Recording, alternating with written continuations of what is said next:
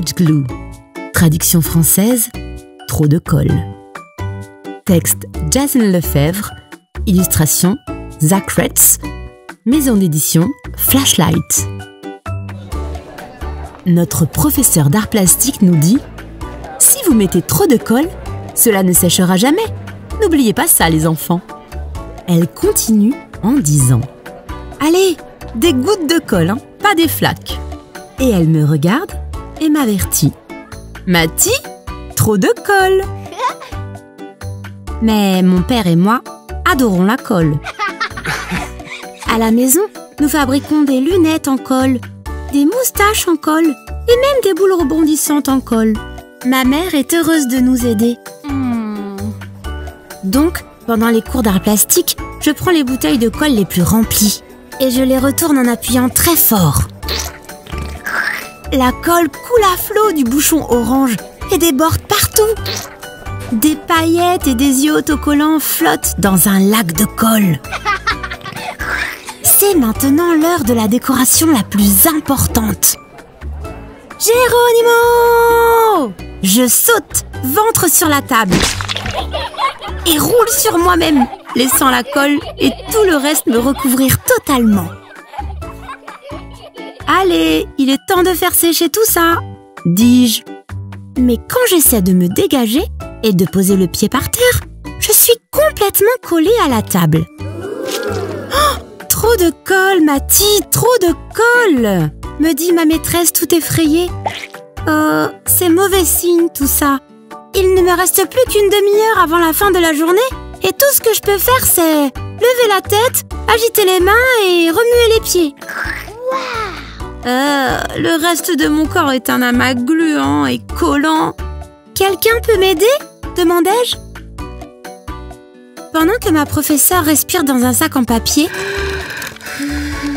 je crois qu'elle a eu peur. Noah eut soudain une idée et dit Hé Si nous le ligotions pour tirer sur les cordes tous ensemble Ah oui, bonne idée Izzy, Noah et Owen se mettent au travail.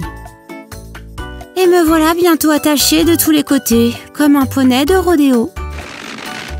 Mais quand ils essaient de me décoller, les cordes craquent les unes après les autres, laissant partout des tentacules colorés ressemblant à des pieuvres.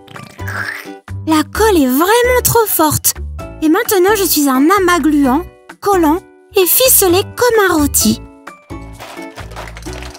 Ne t'inquiète pas, Matty, nous savons quoi faire, crient Luc et Grace du fond de la classe. C'est une grue demandai-je, pendant qu'ils font rouler l'engin au-dessus de moi et qu'un crochet en plastique se glisse dans ma combinaison de colle. Mes amis tirent d'un côté pendant que la colle tire de l'autre. Oh, jusqu'à ce que... Badaboum La grue explose et les briques en plastique se répandent partout. Maintenant, je suis un tas gluant, collant, ficelé et imbriqué. L'infirmière de l'école entre dans la classe et vérifie ma température. Voyons voir. 37 hmm, degrés? Désolée, pas de fièvre. Je ne peux pas te renvoyer à la maison plus tôt. Tiens, tiens, c'est à l'infirmière ça?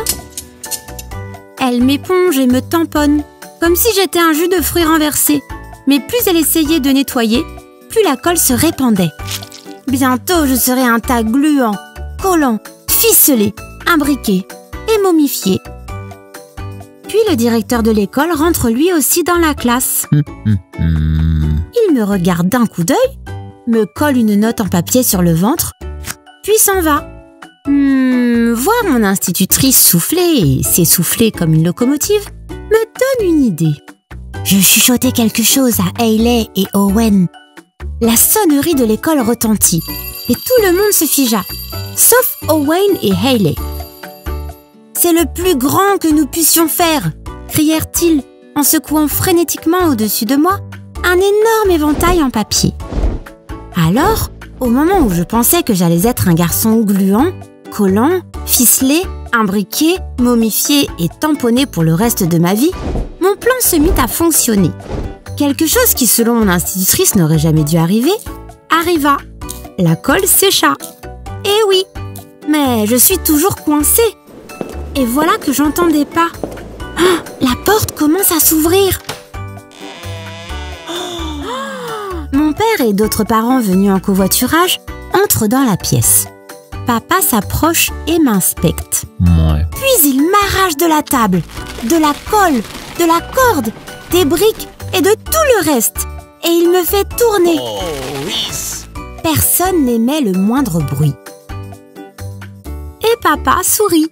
Mathie, tu es un chef-d'œuvre Il me soulève bien haut pour que tout le monde puisse m'admirer.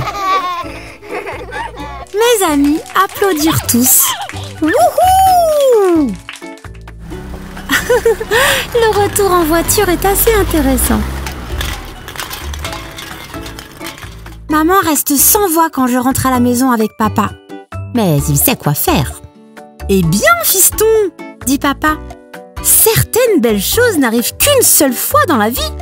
Et en voilà une Il saisit doucement la colle séchée sur mon cou et sur ma nuque. Et il m'épluche comme une banane bien mûre. Maintenant, c'est au tour de papa de coller l'œuvre d'art pour refermer le moulage qui a maintenant ma forme. Je parie qu'il faudrait toute la colle de la classe d'art plastique pour faire ta statue. Pas vrai, papa? Dis-je. Papa se mit à rire. Puis il colla un grand aimant à l'arrière de ma statue de colle et il l'accrocha sur le réfrigérateur. Pendant le repas, nous jetons un coup d'œil à mon chef-d'œuvre. Puis juste après le dîner, nous prenons la note du directeur très au sérieux. Il est écrit, de la part du bureau d'Elmer Stuckey, à l'avenir, veuillez encourager Matty à utiliser du ruban adhésif plutôt que de la colle.